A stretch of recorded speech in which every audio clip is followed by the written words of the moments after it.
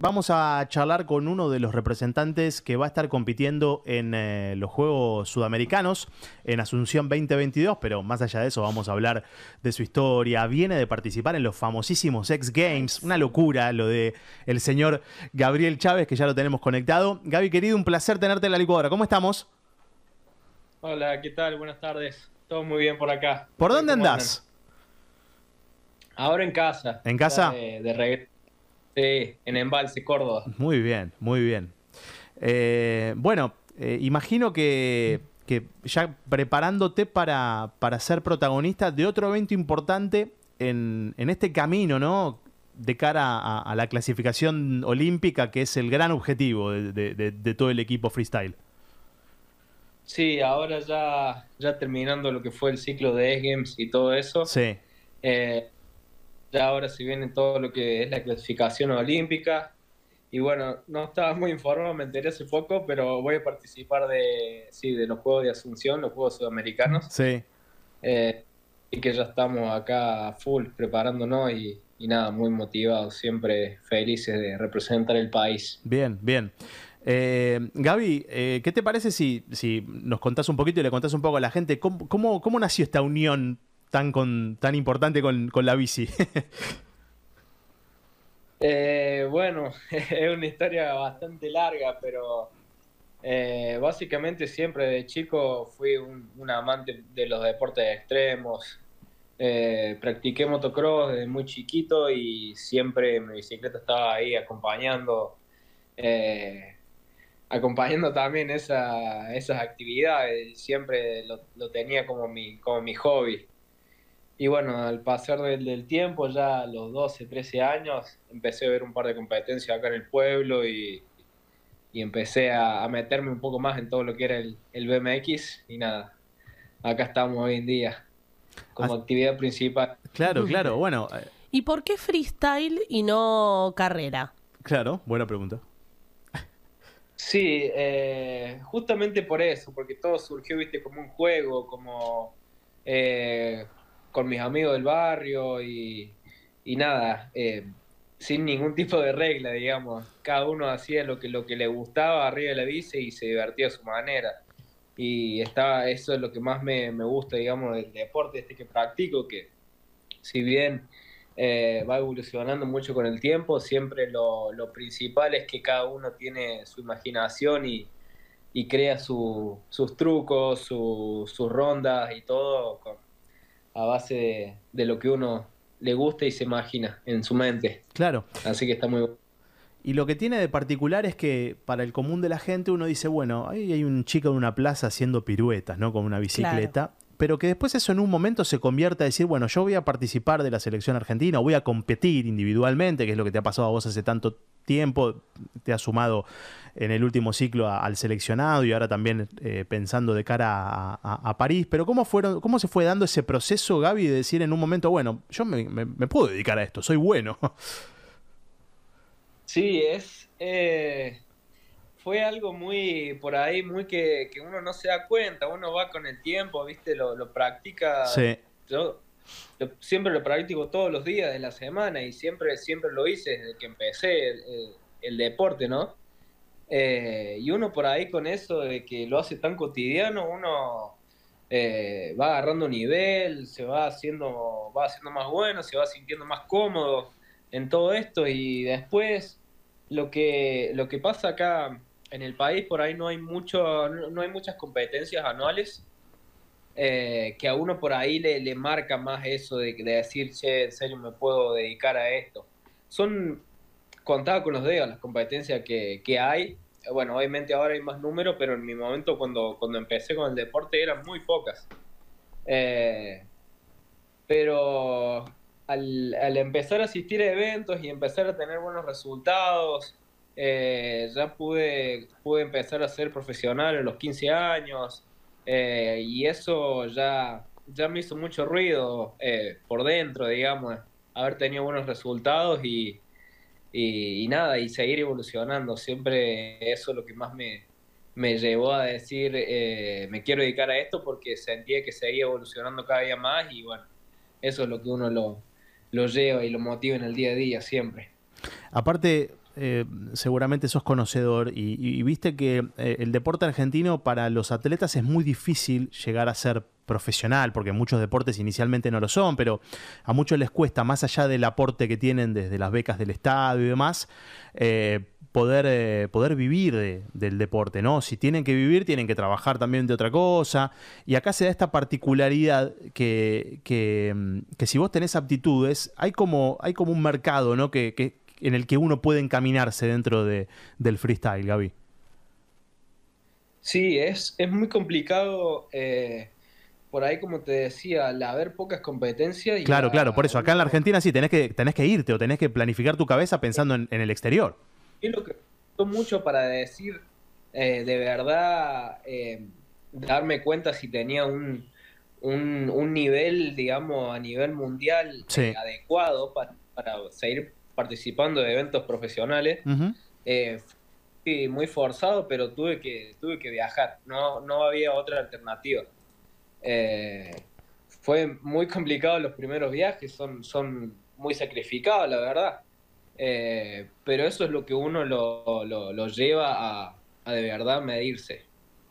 más en un deporte que está eh, obviamente en, pleno crecimiento y se está incursionando mucho en, lo que es el profesionalismo. la única alternativa que yo tenía era salir afuera.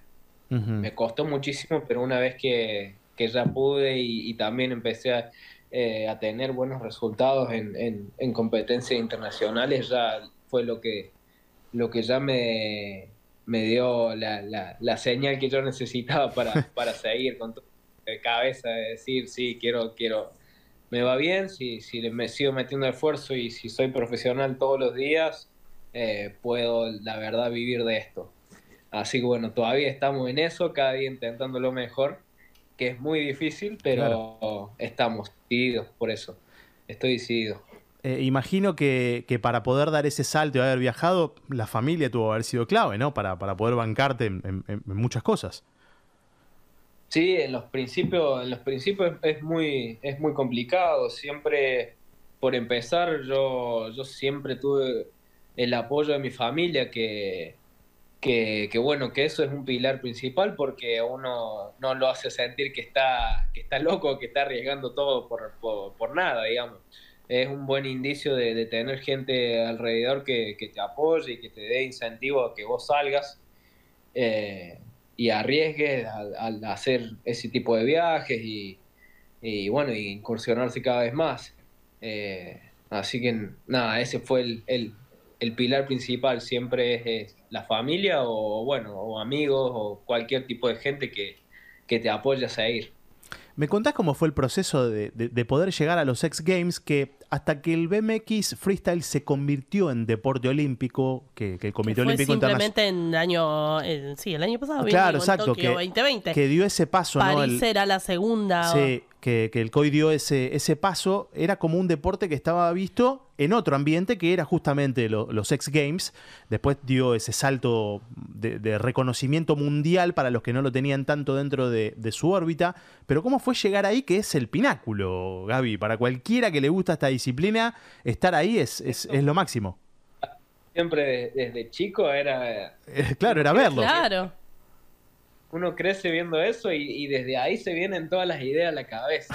Así que siempre estuvo en mente y, y, es algo muy difícil de llegar porque no es como, por ejemplo, un juego olímpico o algo que vos juntas puntos, clasificás y si haces todo como tiene que ser, vos vas a estar, vas a estar ahí, lo tenés asegurado.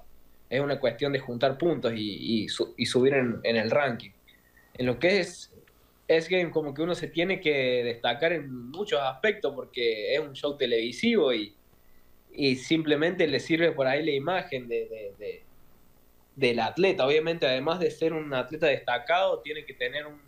Eh, moverse por, por, lugares que uno eh, agrande más su nombre, sea más conocido, lo tenga en cuenta toda la escena, digamos, del, del deporte extremo. Eh, y yo en lo que fue estos últimos tres años me enfoqué mucho en, competencias en Estados Unidos. Eh, si bien no había, no había eventos clasificatorios, me moví estratégicamente en eventos que sabía que me podía dar visualización para, para llegar el día de mañana a ese evento. Eh, entonces, bueno, tuve estos últimos tres años muy buenos resultados. Justamente este año tuve, em, quedé tercero en el ranking mundial de, de y gané la última etapa de, que se hizo en, en, en, Denver, Colorado. Y bueno, eso le dio, digamos, el, el, broche de oro para que se, que se concrete la, la, invitación. Y nada, llegó último momento, estaba ahí eh, con una intriga tremenda, pero por dentro ya sabía que, era muy posible que esté. Y bueno, después de haberlo buscado tanto tiempo, se dio. Así que una alegría inmensa de, solo haber estado ahí. Eran solo ocho atletas de todo el mundo, así que haber estado eh, en ese evento y participar ya, ya era una locura. Aparte, te debe poner en, un escenario mundial en donde las miradas todas están ahí y eso también pensando en, eh, en el continuo desarrollo de tu carrera y mejorarla también es clave, ¿no? Más allá del resultado, digo, estás ahí, bueno, me van a ver. claro, sí. Sí, no, pero también yo por ahí lo tenía como un, un objetivo, ¿viste? De, que uno tiene cuando, cuando es niño y, son cosas que uno visualiza, se visualiza en ese lugar. Sí, sí. es, como, es, como muy simbólico, más que nada. Muy simbólico para los atletas que son parte de eso. Eh, y bueno, eh, fue, fue increíble poder concretarlo. Eh, no se dieron por ahí las cosas como esperaba. Obviamente yo, quería terminar el evento con una medalla colgada en, el pecho, pero, pero también al estar en una competencia tan alta, y hay días que salen las cosas bien, días, días que salen las cosas mal. Me salieron las cosas bien en los eventos anteriores y justo tocó un mal día pero, pero nada, así mismo, así mismo ya, ya haber estado, como te comentaba, fue, fue muy bueno. Ahora estamos esperando la revancha, como, siempre. ¿Qué, sentís que te dio haber estado en estos X Games a nivel de exposición, a nivel de, de, poder, justamente esto que te comentaba, de poner planificar tu futuro que se viene, lo que resta del año, o en este caso el, el año que viene? Y uno, uno le da mucha mucha satisfacción y, y, más que nada sentirse, sentirse parte de todo eso. Sentirse parte porque sabes que está, que está entre los mejores del mundo. Entonces uno internamente eso le da muchísima confianza en lo que es eh, cualquier tipo de competencia que uno afronte después de eso. Ya el estar ahí, estar midiéndose, dar, eh, darse, yo por ejemplo en ese momento, yo sentía que tenía la oportunidad de ganar ese evento, entonces uno va aumentando la, confianza.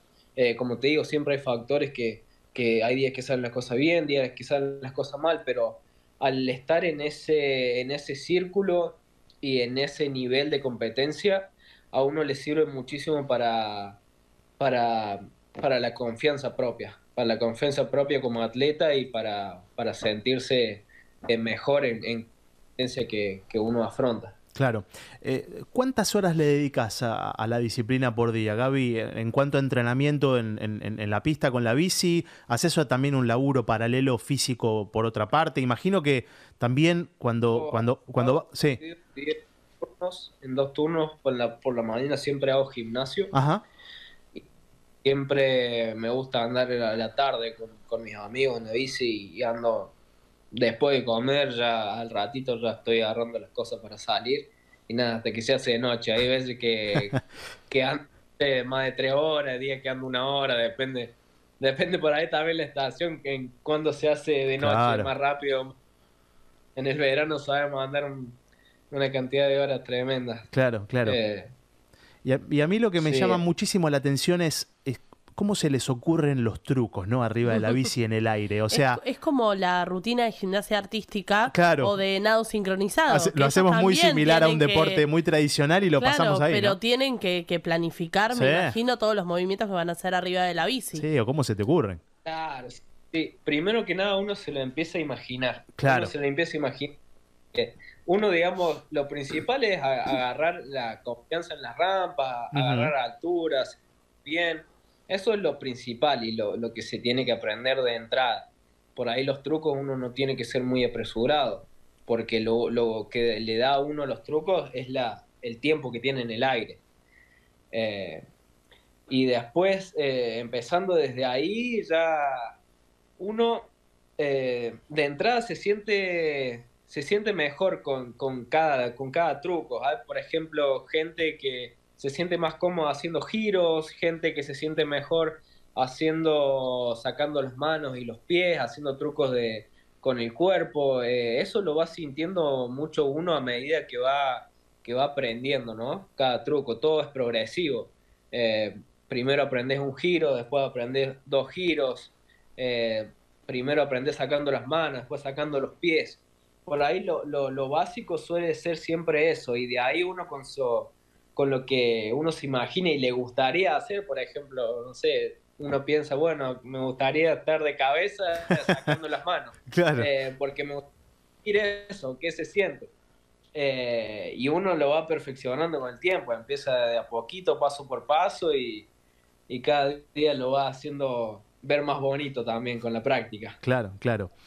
Em, como decíamos antes, hace poco el, freestyle es parte del, mundo olímpico. Eh, ¿Cómo tomaste justamente la, llegada de la disciplina que practicás vos a un mundo global, increíble, que, hasta el momento no era, hasta hace algunos años no era parte, pero que creo que esto le ha dado también una visibilidad en un mundo multidisciplina que también es muy valioso para la vida, para el deporte, Gaby? Sí, no, yo al, enterarme de todo esto me dio muchísima alegría porque, porque uno al, conocer la complejidad que tiene el deporte y por ahí saber que está escondido a, los ojos de la gente, uno le da cierta impotencia, ¿no? Siempre, o sea, más se, veía el deporte como, como una tribu urbana que como un deporte. Claro, claro, por eso. Sí, sí. Sí, y, nada, y uno se da cuenta que le mete al deporte el mismo, el mismo esfuerzo o más que cualquier atleta, atleta olímpico, porque es un deporte que tiene mucha complejidad y mucho riesgo al mismo tiempo. Eh, así que súper feliz yo cuando, cuando me enteré esto y, y nada, ahora el, deporte va a estar en, en, los ojos de todo el mundo, que, que como fue en Tokio, todo el mundo quedó alucinando. Yo, si no me equivoco, yo cada persona que escuchaba hablar del, del BMX Freestyle eh, quedó alucinando y, hay mucha gente que no lo había visto nunca en su vida. Eh, así que es buenísimo, es buenísimo eh, ser parte de eso. Así que es una motivación tremenda para, para estar ahí también mostrando lo que tiene Argentina, ¿no? que también tenemos muchísimo nivel. Estamos en este momento en un, en un en un buen puesto en el ranking, con muchísimas posibilidades de, ir a, París. Eh, así que, nada, muy, muy, muy entusiasmado con eso. Eso te iba a consultar, porque ustedes tal vez están más acostumbrados a ser atletas individuales, ¿no? Que como te pasó a vos, buscaste, perseguiste tu sueño de ir a los X Games, y acá se da esta particularidad, por ejemplo, ahora en Santiago, que van a participar como, como una selección, más allá de que van a competir individualmente, por supuesto, pero que sos como parte de algo ya con la camiseta de argentina puesta, ¿no? Sí, sí, sí, e, es, muy loco, es muy loco porque uno siempre se representa acá a uno mismo, ¿no? Claro. Sin ninguna sin ninguna nacionalidad, nada, como uno como persona, ¿no? Y ahora está muy bueno, está muy bueno esto porque porque también crea, crea un ambiente de, compañerismo entre nosotros, porque justamente ahora eh, que clasifiquemos, eh, es, cuestión de, sumar puntos entre, entre dos personas. Claro. Así que es buenísimo eh, tener eh, un, compañero, eh, ir sumando puntos entre los dos y, representar entre los dos el país para, para dejar la bandera lo, mejor posible representado.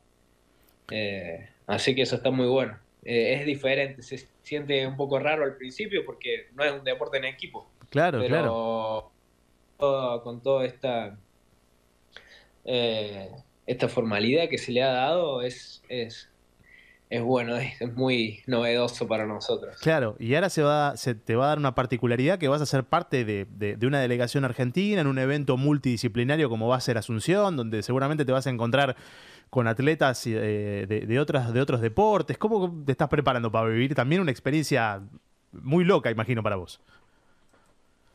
Sí, sí, no, no, el, el, ya el representar el, país, de saber eh, de, todas las personas que le gustaría estar en nuestro lugar, ya es algo que uno le infla el pecho y se siente muy orgulloso.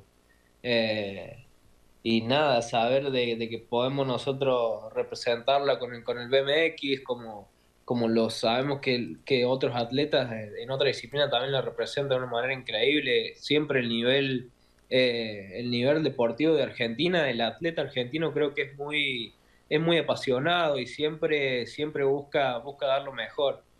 Eh, así que, que yo creo que me siento así mismo como cada, como cada argentino, ¿no? Que, siempre quiere, quiere estar ahí, eh, orgulloso de, su, de su patria. Va a ser un momento muy particular cuando te den el bolsito y adentro va a estar la ropa que te vas a tener que poner como representante de la delegación, imagino. Acostumbrado a estar en la remera, ¿no? Claro, sí, ya nos cambia, nos cambia, nos cambia todo. es un mundo nuevo, claro. Eh, nunca, creo que nunca usé una remera así de, equipo, esa cosa. Claro. Y que sea talle amplio, porque ustedes están acostumbrados a la bermuda amplia, remera amplia, gorrita. Tiene que haber gorrita. Sí, pero eso pueden usar la de ellos. No, pero tiene que haber gorrita. No, le van a dar, imaginamos. Por favor, Lecoq. Gente me pide un par de detalles extra para que quede un poquito más suelta, pero claro. nada, sí. ¿Y tenés algún otro deporte que se te ocurra, una vez que te bajás de la bici, otro deporte que, que no sea BMX, algo que tengas ganas de ir a ver o de, que o te de llame explorar, la atención, claro? Eh, no, no tendría uno en, en, eh, uno favorito porque me, me, gusta mucho ver deporte. Yo estoy todo el día con los programas de deporte, siempre viendo de todo un poco.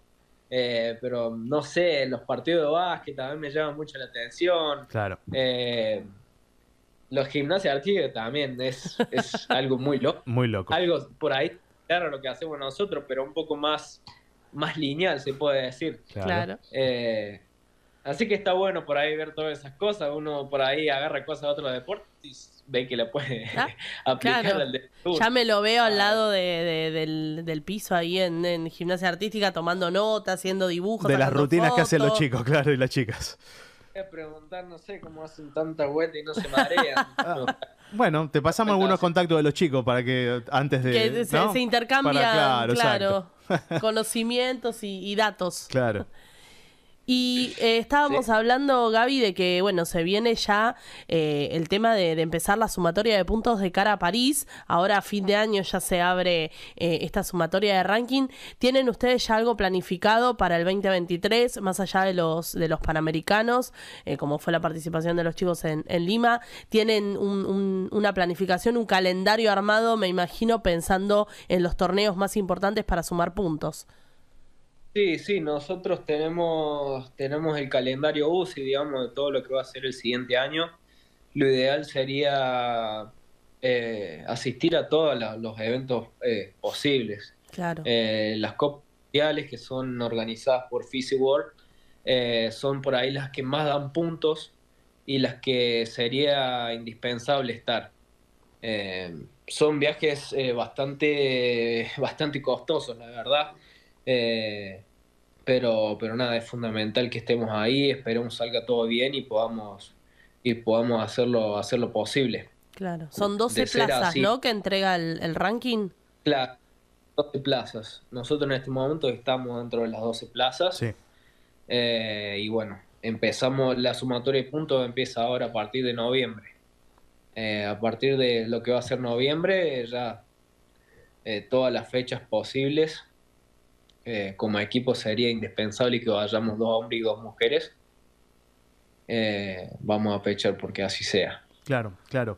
Eh, bueno, justamente ya está conformado el equipo para, Asunción, ¿no? Que está justo con Gaby, está Agus Roth, está Ana Zacarías también, y, bueno, van a estar siendo parte de, esta posibilidad de poder tener una buena, digamos, una buena participación. Se suma el, freestyle a, a, los Juegos Sudamericanos y va a ser creo que, que muy importante para todos y por supuesto para, para Gaby también.